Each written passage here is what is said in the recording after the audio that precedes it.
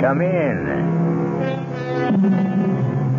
Welcome. I'm E.G. Marshall, and I want very much to tell you the story of a young lady named Barbara. Everyone is more or less mad on one point, said Rudyard Kipling, the famous English writer. And I'm inclined to agree with him, since I myself am more or less mad on the point of mystery. But our sweet heroine's madness took a strange turn, as we shall soon discover in the unfolding of the tale entitled All Living Things Must Die. Our mystery drama, All Living Things Must Die, was written especially for the Mystery Theater by Elspeth Eric and stars Mercedes McCambridge. It is sponsored in part by the Kellogg Company, makers of Kellogg Special K cereal, and by Anheuser-Busch Incorporated, brewers of Budweiser. I'll be back shortly with Act One. Great taste in the morning. Kellogg's, Kellogg's has that wholesome taste to get you up and grinning. This is Jerry Coffer for Kellogg's Special K. You know, for years we've been talking about the Special K breakfast, a great way to start the day if you have a weight problem. You may have seen or heard our latest commercials, which symbolize the problem of being a few pounds overweight by using this ball and chain. That's the sound effect. But so many people have come to know the Special K breakfast that can help solve weight problems, they sometimes forget that Special K is America's favorite high protein cereal. It has eight essential vitamins and iron, and so delicious that lots of folks, kids as well as adults, eat Special K just for the sheer good taste of it. So we don't want you to think that you have to wear a ball and chain to eat Special K. All you need is an appreciation for the finer things of life, a one ounce bowl of Special K, four ounces of skim milk, tomato juice, coffee, and maybe a little sugar. The Special K breakfast can help you lose weight all by itself, but it really is a good start.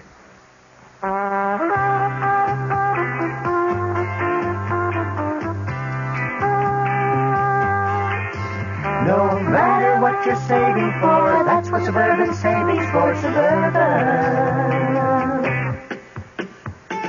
Suburban Savings offers you an easy way to borrow without touching a penny in your regular savings passbook account. Just let Suburban loan you the money. It's called Suburban Savings Passbook Loan. You can borrow up to 90% of the total amount you have on deposit at reasonable rates, and you can pay off your loan at your convenience.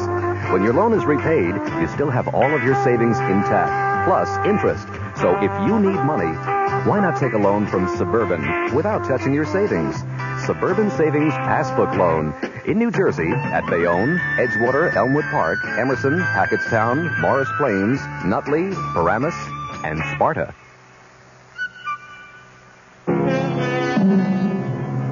Now begins our story of the lightly demented Barbara.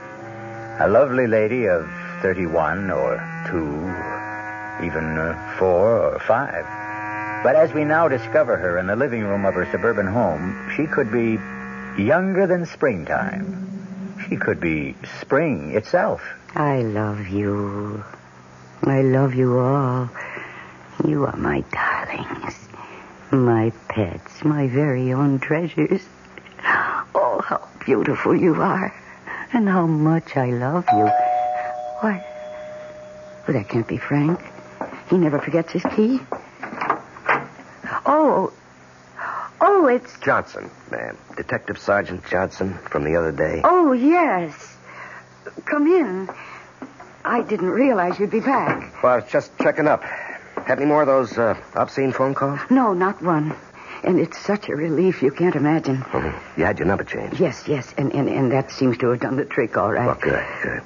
Now, a lady like you shouldn't be bothered by things like that. Well, there's one other thing I hate to mention. No, no, go ahead. Mention anything you want to. We're here to serve.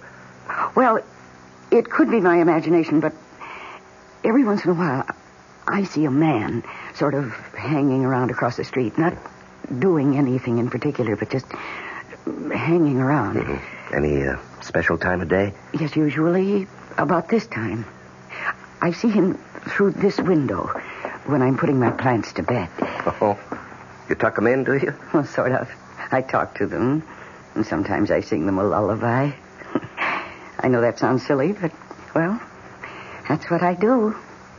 And then sometimes through the window, I think I see this man. It's kind of hard to see out this window, ma'am. The plants sort of get in the way. Yes, I know they do, but they like it here.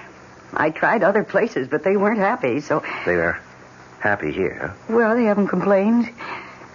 Although I'm not sure about Annabelle. Uh, this one is Annabelle. That's Arthur. And that's Kenneth. Mhm. And this is Marianne. and that spider plant over there is Michael. Oh, Michael's in great shape, isn't he? Oh, yes, he is. He's. Are you laughing at me? Please don't. Do I look like I'm laughing? My husband laughs at me sometimes. I wouldn't know why.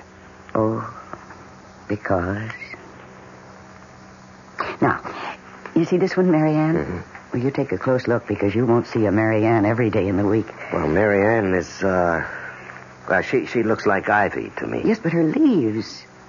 Her leaves are heart shaped. Can't you see? Each one is shaped like a perfect little heart. Ah, you know, you're right. Yes. There are more than 200 varieties of ivy. Did you know that? No, no, I never did. Hey, what's going on here? Oh, Frank. He's my husband. Frank, this is Detective Sergeant Johnson. Ed Johnson. How are you? Pleased to meet you, Mr. Murray. He came to check up on those phone calls. Oh, yeah, from the uh, degenerate. I told Barbara she should answer him back in his own language. Oh, Frank, please. Let him have it. Give it to him right between the eyes. The ears, I should say, in this instance. Well, I'll, uh, I'll be getting along. Well, I'll show you to the door. Say, listen, why can't you catch those freaks? Thank you for coming around, Mr. Johnson. Yeah, sure. I'll uh, stop by again if it's all right with you. Oh, anytime, practically. I'm almost always here. And, uh, take good care of Annabelle. Oh, I will. And don't let Michael grow too fast. I'll do my best. Good night, Mrs. Murray. Good night, Sergeant Johnson. And thank you. Now, don't you mention it. What was all that about? Oh, I told you. The phone call. I mean, all that whispering, all that bzz, bzz, bzz at the door just now. Oh, we weren't whispering. Well, what were you talking about? That I wasn't supposed to hear? Nothing. He just said, I don't know, something about the plants, that's all. What does he know about plants? Well, nothing much. When he was here the first time, and just now before you came in, I told him about them. He knows that I talk to them and that they have names. He was just being friendly, Frank. That's being friendly? Dropping in all the time when I'm not here? Only twice. This was only the second time. He's a kook like you. Freaked out over a bunch of plants. He was only expressing an interest. What's interesting about a bunch of plants with no flowers? Look at them. They take up the whole window. You got them strung all over the place, up to the ceiling, hanging down. They're vines, Frank. There's silver lace and philodendron and ivy. Oh, whatever they are, they're dumb. Plain dumb. I wouldn't object to a nice pot of tulips, something like that, sitting on a table. Like a nice spot of color or a hyacinth. They smell good. But uh, these things. Don't, don't, don't hurt them. Don't. I got no use for them at all. Oh, Get rid of them, why no, don't you? No, never. You can't make me. Oh, boy, you sure cry easy. What I say was so terrible. You said get rid of them. Well, all right, all right. Forget I mentioned it. What's for dinner? It's Swiss steak. Again? Well, it's been a whole week. Well, get it on the table, because I got to get out of here early. You mean you're going out I got a date to go bowling. tonight? Well, certainly tonight. What do you think, next year? But you were out last night and the night before. And I may go out tomorrow night, and the night after that. So what? Frank, Frank, I get so lonely. Well, read a book, watch TV, listen to the radio. But almost every night and all day. Well, all right, talk to your plants. That's what you got 'em for, is it? Have a nice little conversation with Michael and uh, Mary Louise and uh, Archibald, whatever you call him. Never mind. Just never mind. Well, look, I'm going to take a quick shower and then we'll eat. Ten minutes on the outside, okay? Okay. Oh, Arthur. Annabelle. Tell me that you love me. Marianne, do you love me? Michael. Kenneth. Oh, somebody love me. Please. Somebody love me or I'll die.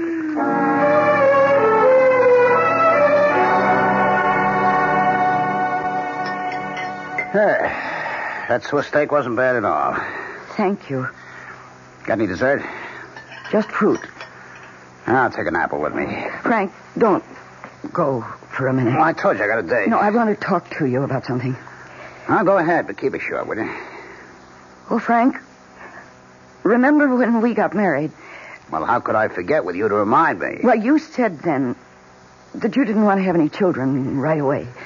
I don't believe in rushing into things like that. Frank, that was ten years ago. Yeah, I know. But isn't it different now? Well, not necessarily. I mean, uh, I think I'm too old for kids. Oh, you're only 45. And by the time my kid grew up, I'd be an old man. You're not really old. Well, aren't you kind of old to be having a kid for the first time? Frank, lots of women have children at my age. Lots of them. I don't know if it's safe. Yes, it is. It, it happens all the time, and I'm very healthy. I'm very strong. You don't look too strong. Well, I am because the doctor said so when did you go to see a doctor? last week. I don't like you doing that without asking me first. Well, I wanted to be sure before I talked to you. And the doctor says it'd be perfectly all right for me to have a baby. As a matter of fact, he said it'd be the best thing in the world for me. Well, I can't see it. On account of the loneliness, Frank, I don't think you realize how lonely I get. That's why I talk to the plants and sing to them. Because I haven't got anybody else. Well, make some friends, why don't you? That's not easy for me. Well, why not? I do it all the time. Anyway, it's not the same as having somebody right here in the house with me all the time. It's not the same intimate kind of thing. If I had a baby, oh, Frank, I wouldn't ask for anything else ever. And I'd give that baby so much love and attention. It would grow up to be the most marvelous person because it would know from the very beginning that it was loved and wanted. Oh, so much wanted. Well, I don't want it. You got that? A kid is the last thing in the world I want. Please. No, no, no. I live in this house too, you know. I don't want a kid running around, messing up everything, making a lot of noise, getting in the way all the time. no, it wouldn't be like that. Oh, yes, it would. No. No, I won't have a kid messing up my life, and that's final, so forget it, huh? Huh. You hear me? Forget it. Put it out of your mind. Okay? Huh? Well, I gotta get going. Guys are waiting for me at the bowling. Frank, All right, now what? no, no, I won't keep you a minute. I haven't got a Oh, minute. please, less than a minute. Well, okay, spill it. When I was at the supermarket this morning, there was this dog. A dog. Oh, boy. Really, a very pretty dog, and so sweet. And he was just wandering around. Nobody knew who he belonged to, or if he belonged to anybody. He's just a stray, as far as anybody knows. No dog. And he has this cute little tail that curls up right over his back, and, and great ears that stand up straight and then flop over. And he's mostly black with a kind of white face. Barbara, we've been through all this. I will not have a dog in my house. Now, that is how it is, and I don't want to talk about it now or never. You understand that? Yes. I gotta go. Frank, I said I gotta go. just one more thing. There's this man hanging around outside. What man? Hanging around where? I was telling Detective Johnson about it. This man sort of hangs around across the street. And I thought if he's a, a, a prowler or a dangerous kind of person, well, a dog would be protection for me, see, when I'm alone. What makes you think this guy's dangerous? I don't know that he is, but every night now when I'm watering the plants just before you come home, I can see him through the window, just sort of standing there and looking around. This window? Yes. He looks kind of shifty, Frank. And if I had a dog, I'd feel safe. I can't see it. Yes, right across the street. I can't see on account of these dumb plants. Don't, don't hurt them. Why do they have to grow them so damn But long? just, just part them very carefully. Here, let me. Oh, no, I can do it. I can do it. There. Can you see that man? I see him. Barbara, you're a nut, you know that? Why am I? That's the guard they hired at the high rise. They pay him to watch the building. Of course he's here every night. That's what he's paid for. I didn't know that. Are you trying to con me into letting you have a dog for protection? Well, it won't work, Barbara. The answer's still the same. No dog, no baby. Just be happy with these dumb plants. They're bad enough. Taking up the whole bloody window, spilling all over the place. I hate you. You look, I'll let you keep them. I hate you. I wish you were dead. What did you say? I said I hate you. I wish you were dead. Did you really say... Hey. Hey, what? Hey, what? Oh. What's this? The bloody plants are on my neck. Oh. Hey, hey, Barbara, they're all around me. Mm. They're choking me. I can't get them off. Hey, Barbara.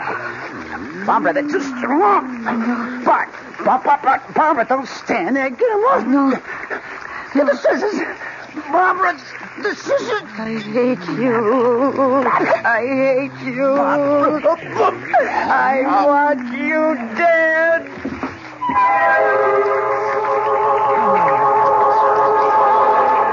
We'll return shortly for the second act of All Living Things Must Die. Hi, I'm Goldilocks, Ms. Goldilocks, if you please, and I'm a professional taste tester.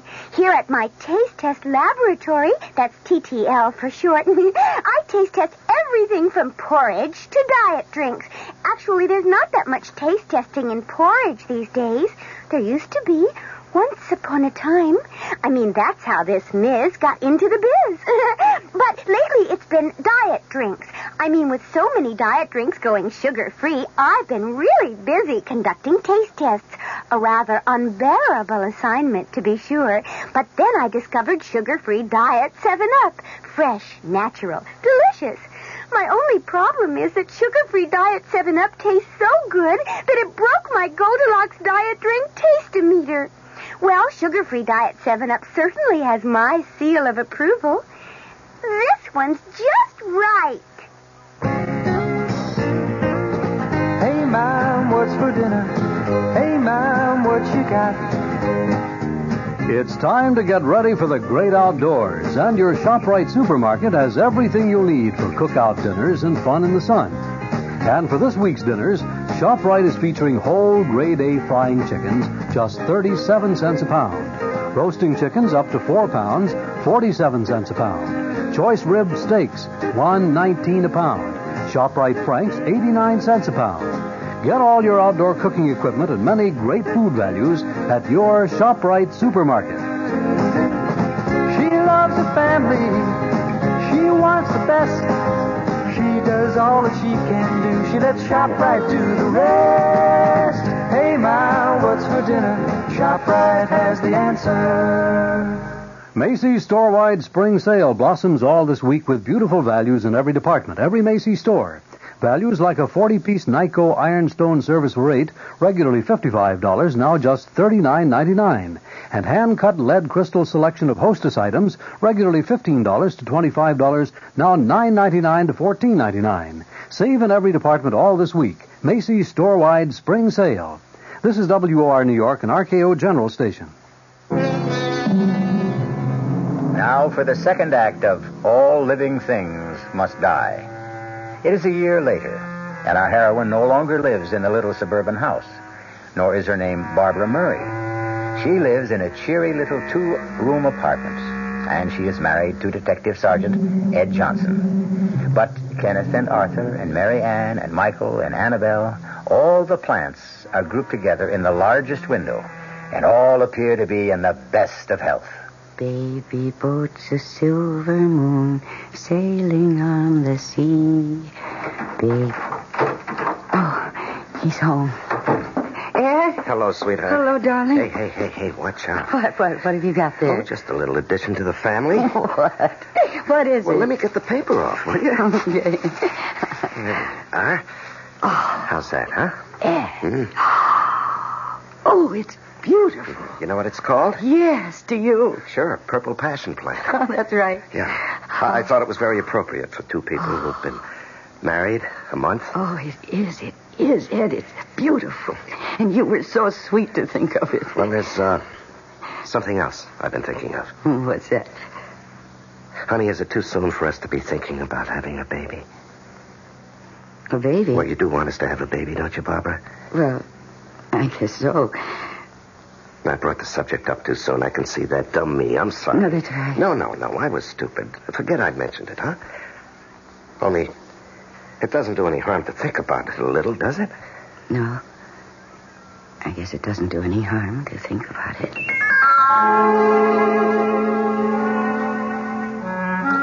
Oh, Cleopatra. You're growing very nicely, dear. It would take a little while before you'll be as long as Annabelle. And you'll probably never be as long as Michael. But then very few plants are. But you're so healthy and strong. And I love your purple leaves. You're very beautiful, my darling. Yes, you are. Oh, he's home. Darling? Darling, you're home. Yep, I'm home. Hey, look what I brought with me. Why, why? Oh, no, it's a dog. Uh-huh. Oh, isn't he darling? Yeah, yeah. He, he wandered into the station house about a Oh. week ago. We've been feeding him, and he's been sleeping Look, there. look, look, his tail curls up over his back. Yeah, he's got a great disposition. Oh, my. Doesn't he belong to anybody? Well, we advertised in the paper three days running. Nobody answered the ad. You mean he's got no home? Nobody wants him? Well, not unless you do. You mean I can have him? He can live here with us? Well, would you like Oh, that? yes, yes. Uh, Dog, I guess you got a home. oh. I love him. Dog, you got yourself a mother. Look, look, look at him. Look how he's looking at Yeah, you. yeah. Come here. Come here, dog. Come here. Oh, he loves you. You can see it in his eyes. He just loves you. Well, I'm his father, aren't I? Hey, dog. Do you love your father? Of course he loves you. How could he help but love you? How could anybody help but love you? Well, there's only one person has to love me. That's you. Uh-huh. But you have to, baby. It's absolutely necessary. It's essential that you love me because if you don't, it's the end of me. Oh, Ed, I love you so much. I can't even talk about it. Just believe me. I love you and I love you and I love you.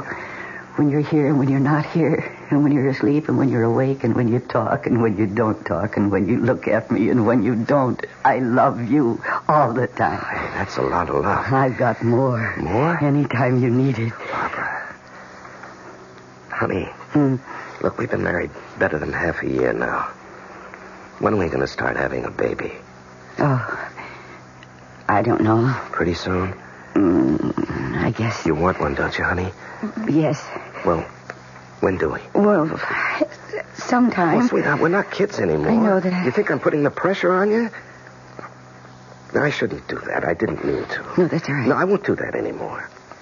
You, you, you just got to tell me when you think is the right time. I won't bother about it anymore. Oh, I- Now, what are we going to name the dog?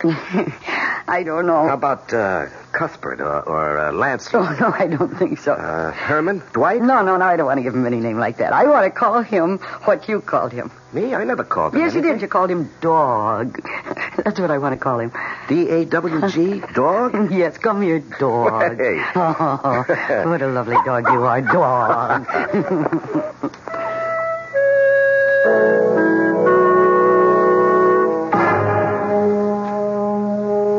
Darling. Hello, love. How do you feel? I feel marvelous. Well, you look marvelous. How's the family? Well, I've been giving Annabelle a little too much water, but everybody else is fine. Oh, I brought you a present. A first anniversary present. Well, I have one for you, too. Here. That's uh that's an engagement ring. You you never had one. Oh, Ed, this is lovely. Do you like it? Oh, yes, I love it. Almost as much as I love you, and Dog, and Annabelle, and Kenneth. hey, hey, hey, watch it. And I got you a ring, too. A what? Yes, a wedding ring, because you never have one. Oh, hey, hey, Yeah. that, that's nice.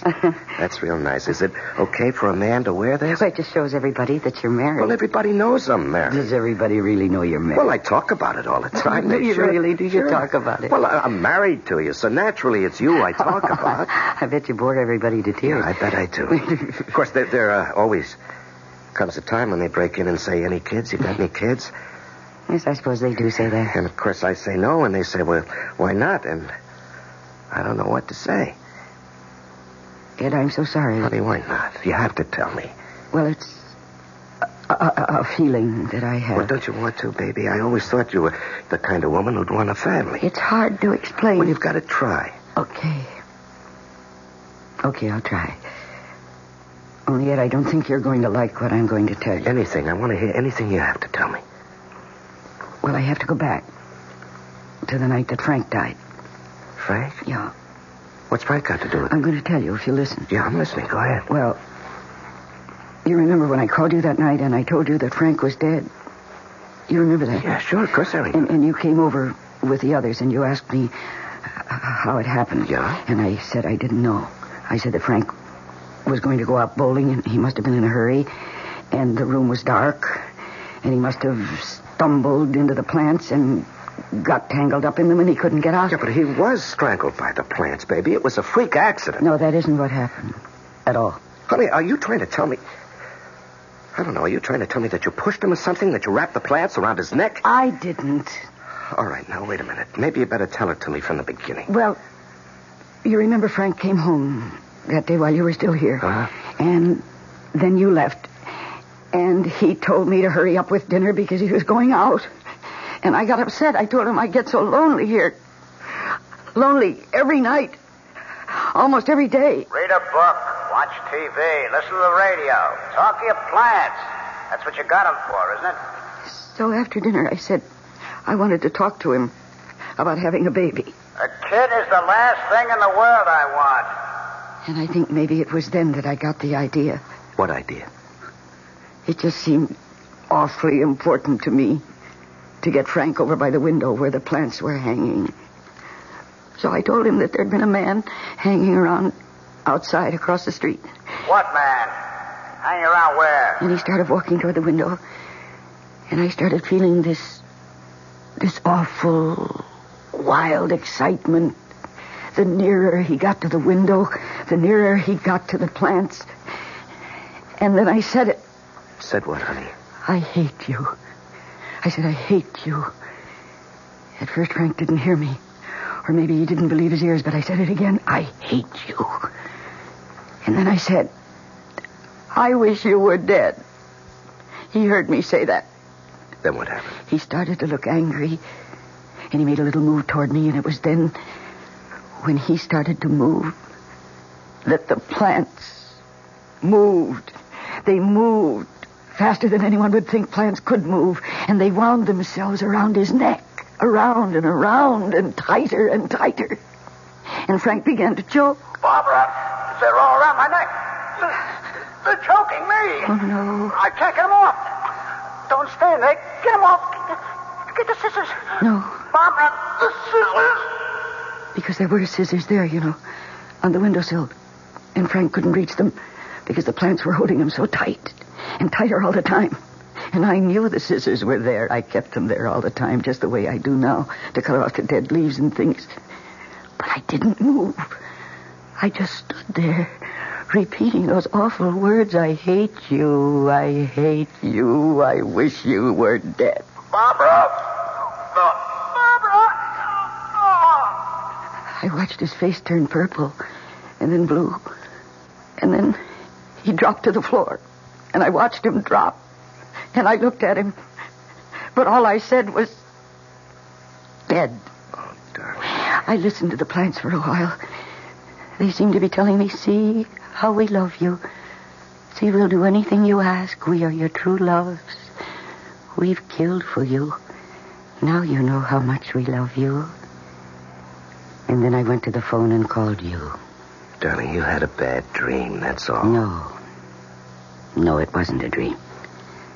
I made the plants do what they did, don't you see? I said I wanted Frank dead, and they heard me. Or they felt what I was feeling, or they sensed it, or something. And because they love me, and because they know that I'd never kill anybody, Oh, of course they not. went ahead and did it for me. Sweetheart, even if what you say is true, if it could be It true, is you true. never laid a finger on But I'm Frank. an accessory, don't you see? I wanted someone to kill Frank. Not me, but someone. And the plants knew it, and they killed him for me. Do you think anybody's going to believe you, sweetheart? Ed, do you believe me? Honey, is this why you don't want to have a baby? I want to, but But what? That's how it all started. Me asking Frank if I could have a baby. Why don't you try asking me? You know what kind of an answer you'll get, don't you? Go ahead. Ask me. Ed, is it all right? Is it?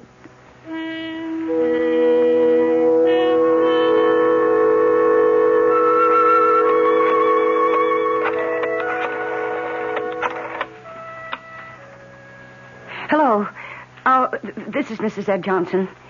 Yes. Well, uh, I saw the doctor a couple of days ago, and uh, he was going to have a test made to see if I. Oh, you can't tell me. It is really, really. Oh, yes, I believe you. Thank you very much. It's true. It's really true, dog. Michael, Marianne, I'm going to have a baby. Annabelle, it's true.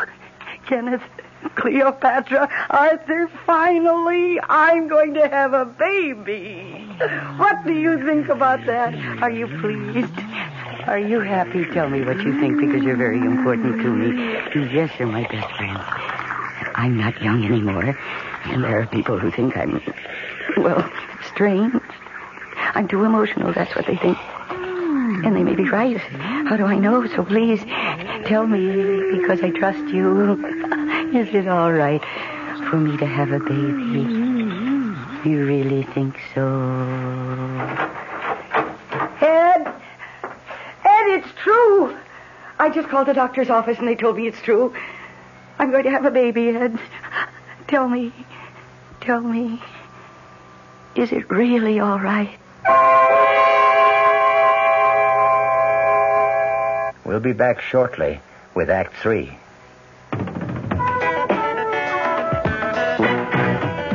When you say Budweiser,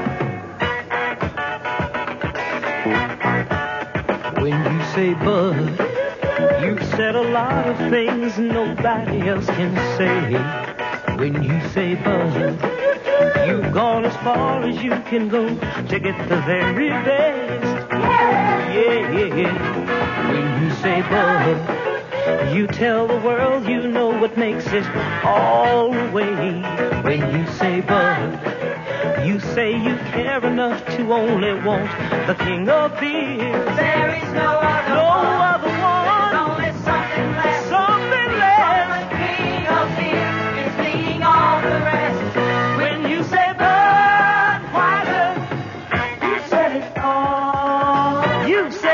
all. Anheuser-Busch, St. Louis. Macy's store-wide spring sale blossoms all this week with beautiful values in every department, every Macy's store. Values like all wool pile oriental design rugs, regularly $200, now just 150. Save in the rug department on worsted wool, imported, woven Saruk, and Kerman designs. Save in every department all this week. Macy's store-wide spring sale. Aren't you glad? Aren't you glad for things that make a happy day? Aren't you glad? Aren't you glad you found the love to grow and stay? Aren't you glad that we're pulling together? Aren't you glad that we're feeling free? Aren't you glad? Aren't you glad? Aren't you glad? Aren't you glad? Aren't you glad? Aren't you glad just to be? Aren't you glad? Aren't you glad for feeling cool and clean all day? Aren't you glad? Aren't you glad you've done your best to stay that way? Aren't you glad that we're getting together? Aren't you glad that the people smile? Aren't you glad you use style? Aren't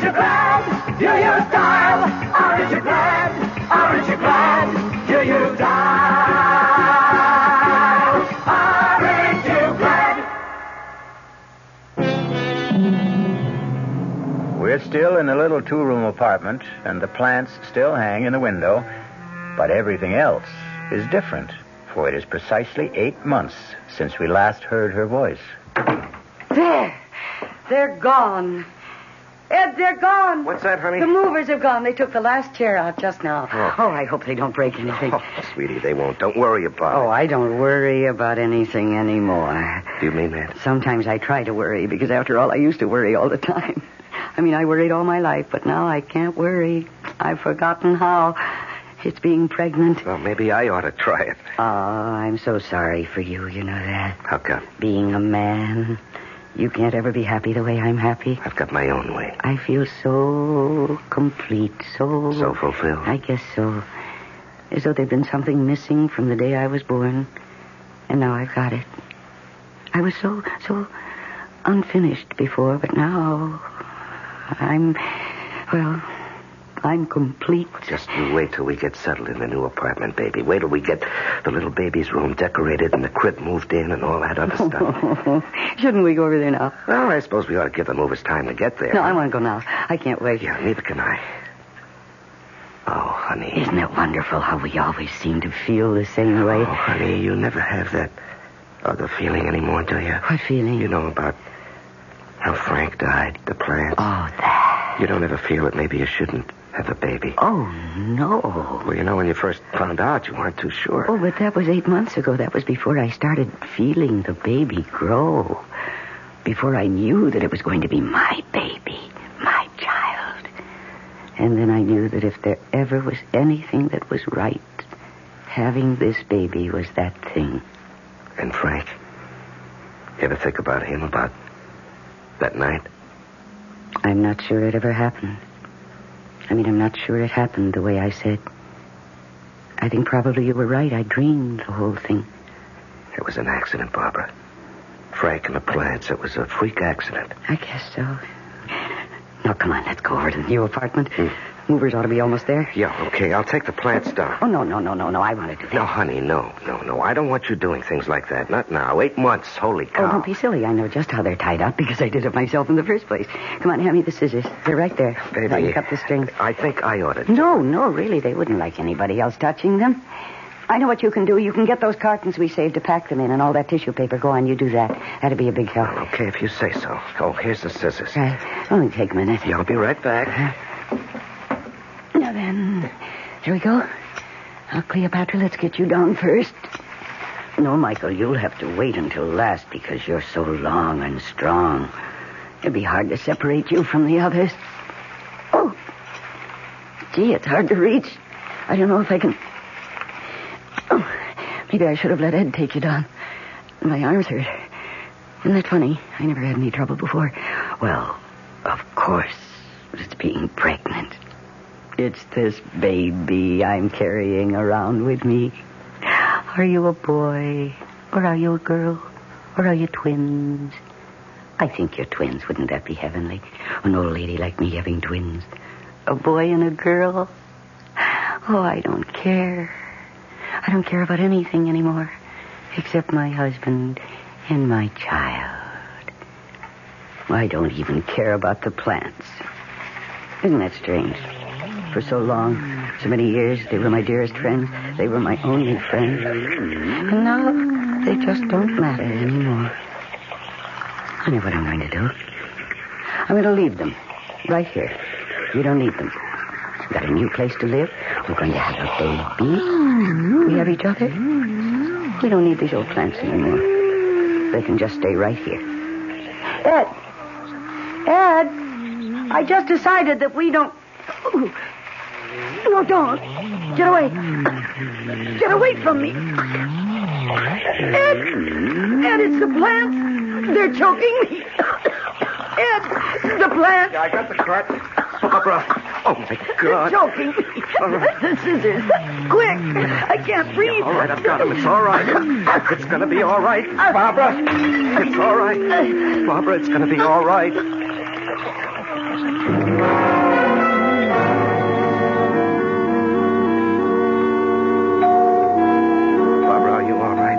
What'd the doctor say? He says I'm all right. I can go home. Did you tell him? How could I tell him I made up something? I said I got tangled up in the clothesline. That was the first thing that came into my head. Anyhow, he didn't ask me many questions because he could see that I wasn't really hurt. I was just scared. Oh, you sure had me scared. Well, they didn't hurt me much, really. The plants. Well, why should they hurt you at all? You love those Ed, plants. Ed, Ed. While I was taking them down, it was harder than I thought it would be, and my arms got tired. Well, I told you to let me do it. And, and, and I stopped for a minute, and then I thought, why am I bothering with these plants? Taking them down and carting them to the new place and then putting them up all over again. So I thought, I'm not going to do that. I'm just going to leave them. I'm happy. I've got everything I want. I don't need them. I even think I said that out loud. And they heard me. Now, Barbara. But it wouldn't have made any difference. They didn't have to hear me say it out loud. Because they knew what I was thinking. Honey. No, you see, you can't live that close to somebody for so long and so close without knowing what she's thinking. And they knew that I was going to go off and leave them. After all our years together, I was going to abandon them. I didn't care anymore what happened to them. And they knew that. Oh, no, it's just hard to conceive of They, they, they wouldn't have killed me, Ed. They didn't even really mean to hurt me. They were just saying, don't go. Or if you must go, take us with you. You can see that, can't you? All I know is I came into the room and I saw you with the vines around your throat and you were saying, joking me. Get the scissors. Well, I got those scissors so fast. They were they were right there on the windowsill, and I I cut those vines so fast. Boy, you had me worried, baby. Oh, you must have fainted by then. Yeah, and I picked you up and put you in the car, and you came to before we got to the hospital. And here I am, and I'm all right. Yeah, yeah. Barbara, you don't uh, suppose I hurt the plants, do you? I just slashed away. Well, I don't suppose you cut them down very carefully. Oh, heck no. Oh, they'll be all right. I'll trim them properly when we get back. You're uh, not going to leave him there? You're going to take him to the new apartment? Yes. Yes, I am. I don't know what I was thinking of.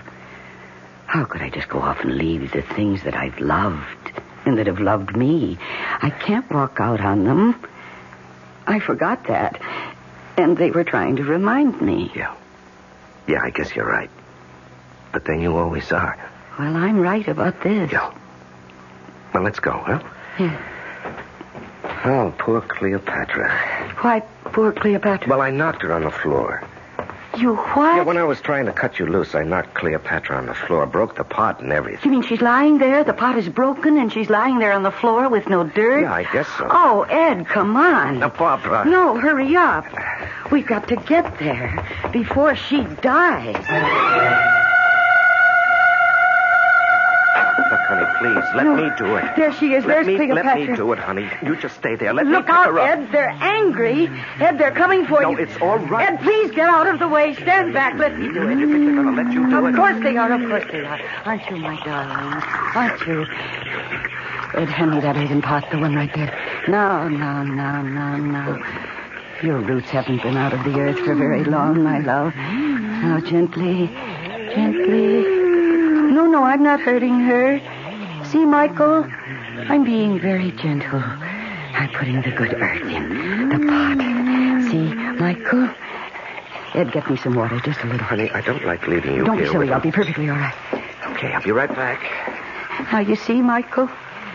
I'm scooping up every last bit of the nice brown earth, and I'm sifting it through my fingers. See? See, Annabelle? See, all of you? Oh, very carefully with the beautiful, loose brown earth. Here you are. Now, we put a little water in. Not very much, because the earth wasn't very dry. Ed, there's some plant food on the windowsill. Yeah, I got it. Here you are. Now we mix just a little of it into the soil. There we are, like that. And now, Cleopatra, my love, let me pick you up. I'll hold you for a second. And don't be frightened, my dear. No, no, no, no. And put your little roots into the dirt. Very gently, very carefully. And press the dirt down around them. And then we add the rest of the dirt almost to the top. And we press it down. Not too hard, just enough to make you feel safe. and Secure. There we are. You see, Michael? Marianne? Annabelle, see? She's going to be all right. You think she really will be? Oh, yes, yes. Yes, I'm going to set her here on the windowsill. And let the sun pour all over her. Well, shouldn't you start taking down the other plants? No, no, not yet. They've had an awful shock. Yeah, but honey, the, the furniture movers at the other apartment, they, they must be going crazy wondering where we are. Well, you go. You take the car and go over there. What about you? Come back for me later. Okay. Like uh, in an hour? Well, make it a couple of hours. Okay, baby. Hmm. Baby boats of silver moon sailing on the sea. Yes, my dear ones, rest. Rest, my darling. Sail, baby, sail out across the sea. Only don't forget to sail home again to me. Only don't forget to sail home again to me. The next time you pass by a plant, stop and look. Make a little bow or tip your hat. And if its leaves flutter and make a sound, listen. It may be trying to tell you something. I'll be back shortly. Commuting. We're big on that. Time is money in the business world. That's why Ozark offers commuter flights that get you there and back the same day. Don't ever let a few hundred miles stand between you and big business opportunities. If you're long on work but short on time, let Ozark make your day pay off. Commuting, we're big on that. Jet to Champaign, Urbana, Peoria, and Springfield, Illinois. Call Ozark or your travel agent. Macy's store-wide spring sale blossoms all this week with beautiful values in every department, every Macy's store. Values like Lee's Broadloom. Save two to four dollars a square yard installed over sponge rubber padding. 35 styles, 500 colors. Regularly $12.99 to $21.99 a square yard. Now sale priced $9.99 to $17.99. Save in every department all this week. Macy's store-wide spring sale. Our cast included Mercedes McCambridge, Larry Haynes, and Ralph Bell. The entire production was under the direction of Himan Brown. Radio Mystery Theater was sponsored in part by new sugar-free diet 7-Up. This is E.G. Marshall inviting you to return to our Mystery Theater for another adventure in the macabre. Until next time, pleasant dreams.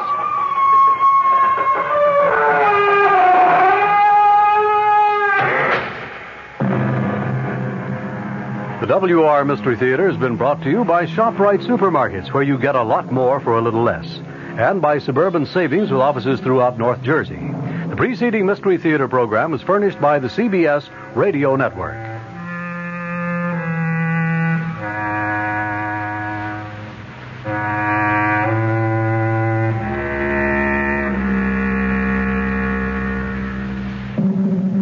Stand by now for a chilling moment from tomorrow night's WOR Mystery Theater drama. You belong to her now, Claude. You belong to Venus. What are you saying? You made a vow to the statue. I was only joking. We were all only joking. Perhaps. But she took it seriously. But it's only a statue. It's the statue that stood in the shrine of the Temple of Venus. It is the Venus herself. But what does she want? She wants you. I didn't mean it. You saw it was all in fun. She wants you, Claude. She wants to love you. And then, as she's done so many times in the past, she'll kill you. Tomorrow night's thriller is called Venus d'Ille. It features Norman Rose and Joan Lovejoy and will be heard following Fulton Lewis at 7 o'clock right here on WOR Radio, the talk of New York. Boy, if the old timer, Horatio K. Boomer, and Wally Wimple could see me now. Fibber McGee back on the radio right here from 79 Wistful Vista with a brand new program where I'm going to bring back the great old radio shows from way back. Shows like Mr. Keen, Lum and Abner. Well, I guess I ought to get this place straightened up a bit, though. Where's that vacuum? Oh, I left it in the hall closet. Look.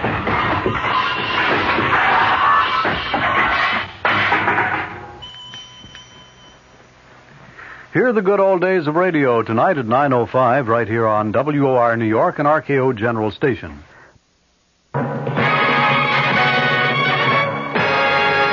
I'm Lewis in the Mutual Broadcasting System studios in Washington, D.C. Now, my commentary. President Nixon goes before the television cameras and radio microphones tonight to explain to the nation why he will only partially comply with a House Judiciary subpoena for tape recordings of some 42 White House conversations. It is not known just how partial the president's compliance will be. Most bets are that he's going to deliver some of the tapes in their entirety. Others may be edited with discussions which the president feels are not germane to the House committee's impeachment inquiry excluded. In some other cases, Chairman Peter Rodino's panel may just get written transcripts of the tapes, not the tapes themselves. Knowing that that would not satisfy the Judiciary Committee, Chairman Rodino has said that he will be satisfied with nothing short of complete compliance with the subpoena. President Nixon tonight is likely to strike out at some happy middle ground, or a middle ground that he thinks would be happy, selecting perhaps some mutually acceptable third party who would vouch for the authenticity of the transcripts and who would ensure that any areas which are edited out are in fact non-germane. Again, though, that is not likely to satisfy the Judiciary Committee, which has insisted all the way along on getting only the original materials. The president, of course, has until 10 a.m. tomorrow to formally comply with the subpoena. It is an unprecedented situation in which a House committee is clearly clearly treading on what some constitutional attorneys regard as sacred executive territory. The Constitution, remember, establishes three separate but totally equal branches of the federal government. Each has a right to remain aloof from the other. The president, in other words, if he so chose, could probably duck behind the so-called executive privilege in refusing to even partially comply with a House committee subpoena. It would be a contest that would eventually wind up in the federal courts, no doubt the Supreme Court. And technically, even if the Supreme Court were to side with the Congress, the president could just challenge the court to enforce its ruling, knowing full well that the Supreme Court has no enforcement powers. You can be sure, though, that even though these options may have crossed Mr. Nixon's mind at one time or another, they have never been seriously contemplated. There is an element of politics in his present dilemma. An impeachment threat is breathing heavily down his neck. He must be certain, on the one hand, that in responding to the demands of a panel of the House of Representatives, which has been charged with the initial impeachment inquiry, he does not establish any precedents which would do irreparable damage to the doctrine of separation of powers. The president must be equally certain, on the other hand, that he does not go so far down the road of executive privilege that he waves a red flag in the face of a potentially bullish Congress, angering it to the point where, for sheer spite, it might remove Mr. Nixon from office. Well, yesterday, a jury in New York acquitted the two men who were at the top of the official totem pole throughout the Watergate scandal. The two men who, it was widely charged, were more to blame than any others. Charges of presidential guilt have always been conditioned on the degree to which Mr. Nixon may have known about or cooperated with men like former Attorney General John Mitchell and former Commerce Secretary Maurice Stans in their quote unquote crimes.